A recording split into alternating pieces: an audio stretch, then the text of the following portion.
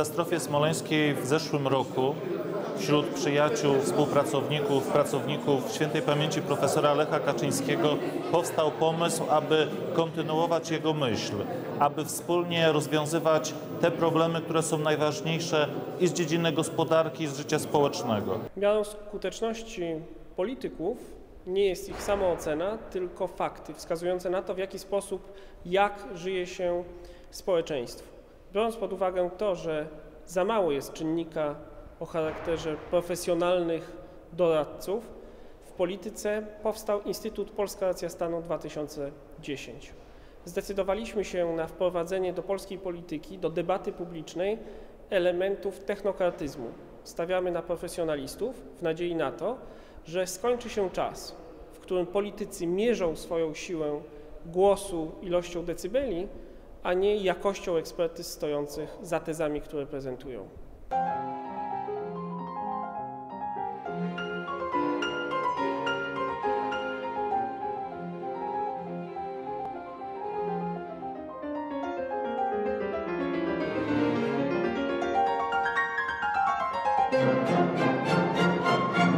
Biorąc pod uwagę wszystkie podane wyżej racje, to polskie lobby przemysłowe jest przeciwne budowie elektrowni atomowej i postuluje przerwanie dalszych prac w tym kierunku. energetyka jądrowa jest jednak szansą, dużą szansą dla y, gospodarki kraju. Dla atuty żarnowca. Infrastruktura techniczna dostępna, zwłaszcza przesyłowa. I wszechstronnie rozpoznany teren i region lokalizacji. Nie spodziewamy się tutaj niespodzianek, jeśli chodzi w ogóle o, o warunki Jeżeli nie zdarzy nam się awaria, to emisje y, wszystkich tych y, y,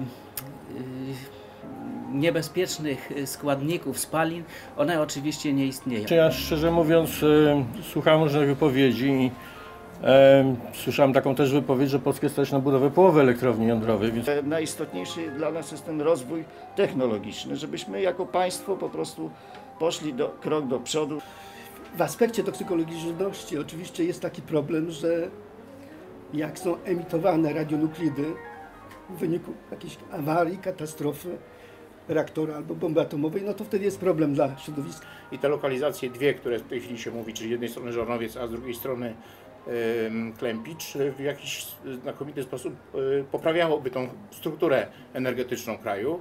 Proponuję, e, żeby, żeby każdy z panów optujących za budową elektrowni jądrowej odpowiedział sobie, czy godzę się na postawienie tego świństwa w swoim miejscu zamieszkania. Dziękuję za głos. Muszę powiedzieć, że troszkę czuję się zawiedziony, bo niektórzy panowie mówili, że ekonomię to tak tam jest na dodatek, albo ja się nie znam na ekonomii. No, Chciałbym mimo wszystko wiedzieć, ile to kosztuje. ale potem, y, czy, czy ym, tego typu inicjatywa przełoży się na rozwój nauki w, w, w tym obszarze na polskich y, politechnikach, polskich uniwersytetach. Czy te odpady są skład, będą składowane w jakichś wyrobiskach kopalnianych głęboko pod ziemią, czy, czy to w ogóle stanowi jakieś zagrożenie, czy nie, to jest Mówimy, że energia atomowa, energetyka atomowa, że to skok technologiczny. Mam wątpliwości, czy to jest skok technologiczny.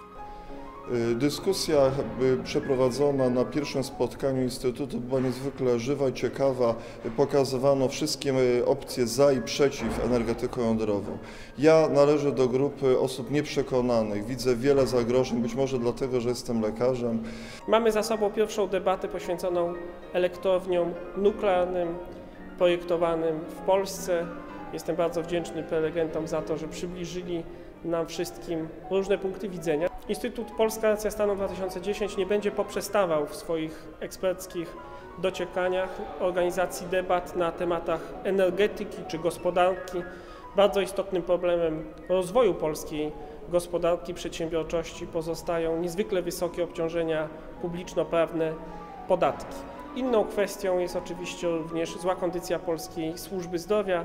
Moim zdaniem powinien być to jeden z kolejnych tematów, którym zajmą się eksperci Instytutu.